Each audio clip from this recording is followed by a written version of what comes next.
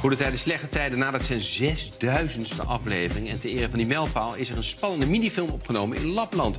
Oud-GTST-held Buddy Verder die nam gisteren een kijkje bij het jubileumfeestje.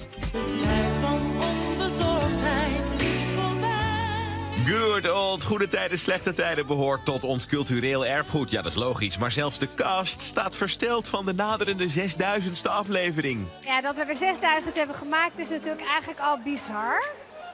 Want dat- ik denk niet dat iemand in Nederland dit kan zeggen. Wij zijn eigenlijk de eerste productie die er zo heeft, zoveel heeft mogen maken. Dus nou ja, dat zegt natuurlijk wel dat het iets is van, van generaties. En ja, dat is gewoon heel bijzonder.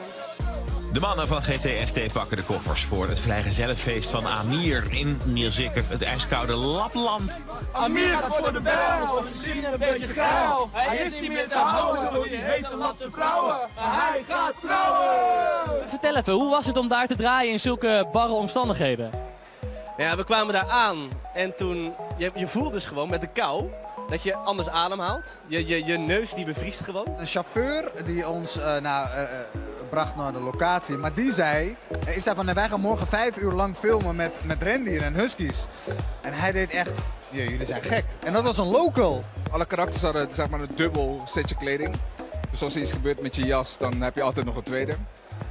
We hebben dus allebei de jassen over elkaar heen getrokken, want anders was het gewoon niet te doen met één jas. Amir en vrienden? Ja, la, la.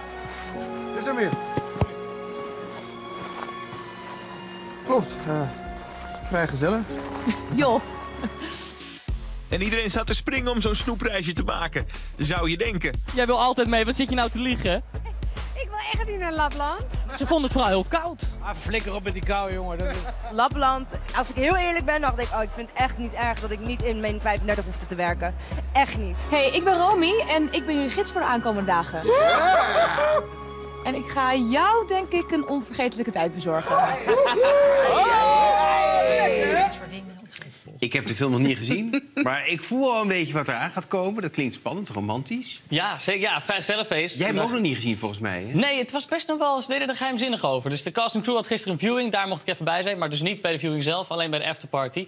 Maar in tegenstelling tot het boekenbal zijn de afterparties bij goede tijden wel goed. Het was een goed feestje, kan ik wel zeggen. Eh, en eh, ja, het is een, een minifilm dus. Dus ook voor uh, degene die niet alle 5999 afleveringen voor hebben gezien. Ze kunnen hem gewoon zien. Uh, een uur, dat is best bijzonder. En in Lapland dus met min 38. En waarom Lapland? Waar gaat het over? Waarom dan die kant op? Ja, dat is, dat, dat is altijd een, een, een, ja, een, een vraag waarom ze naar een bepaald land toe gaan. Maar uh, ja, het was uh, een vrijgezellenfeest voor Amir.